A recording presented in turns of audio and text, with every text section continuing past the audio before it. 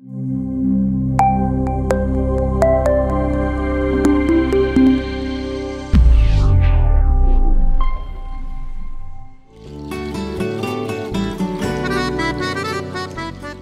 moçada, mais um programa sem alambrado pela sua Lagoa TV. Mais um programa Flor de Especial. Hoje com esse meu irmãozaço de palco, um cara que eu tenho um carinho muito especial, um companheiro de anos de, de, de parceria forte, cantando com o Quinto Manancial, cantando e tocando. Anderson Soares, nosso amigo Mindu, como é que tá, meu amigo velho? Tudo bueno? Bueno, Marcos, obrigado pela, pelo convite, obrigado Lagoa TV. É uma satisfação estar junto contigo nesse programa aí que eu respeito muito aí na, na nossa população aí. Mindu, quanto tempo tu tem de estrada de violão, cara? Diz pra mim. Che, eu comecei, vamos dizer assim, comecei até meio velhão, né, cara? Porque em vista da, da gurizada de hoje, começa aí a tocar com 5, 6 anos, já ia estar com violão no colo, com gaita e tal. Uh, eu comecei com meus 14, 15 anos aí, que eu comecei a, a me aprofundar no, no, violão aí e desempenhar ele. Que beleza, cara. E, e me diz uma coisa, festivais, uh, Enarte, essas, essas competições aí, tu participa a tempo também já? Sim, cara. Quando eu entrei nesse no meio artístico aí, no vamos dizer assim, no meio tradicionalista, que foi lá pelo 96, quando meu pai iniciou como patrão do CDG, eu comecei a pegar um gosto por isso aí, pelas bandas, pelos quando tinha os bailes, quando os caras tocavam, eu ficava lá sentado perto do palco olhando e, e comecei a gostar disso aí, né?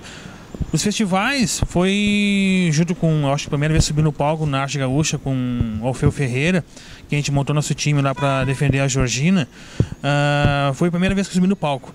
E aí dali começou a, a, se abrir alguns caminhos e a gente começou a pegar gosto pelo, pela coisa, gosto pelo palco. Uh, como eu falei, no meio tradicionalista com as invernadas, eu comecei a, a, a participar junto dos, dos, dos, musicais de invernada, né? E aí começou a, a, comecei a perceber que o mundo da música gaúcha é bem amplo, né? Basta só a gente procurar e ver seguir o nosso caminho ali, né? Tu tens um outro trabalho que eu admiro muito, Mindu, que é o de avaliador do MTG. Sim. E tu viaja por aí avaliando essa parte.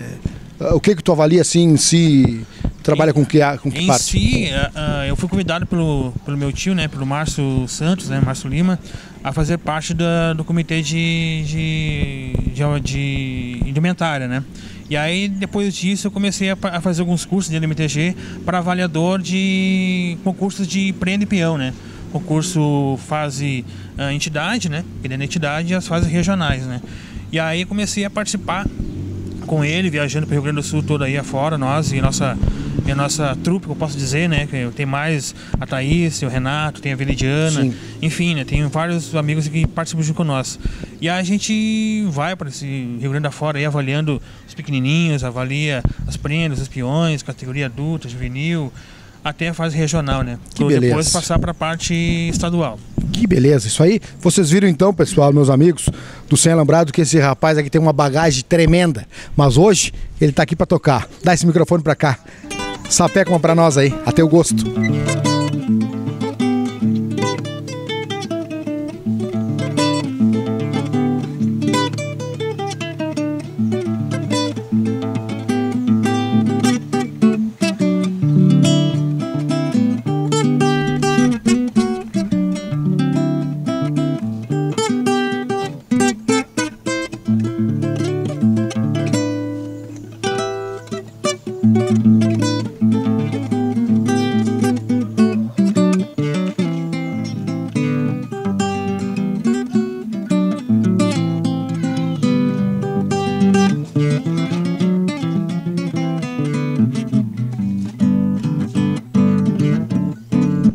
Desta maneira, vamos nos despedindo com mais um Sem Alambrado. Um abraço apertado a todos vocês. Fiquem com Deus e até o próximo programa, se Deus quiser.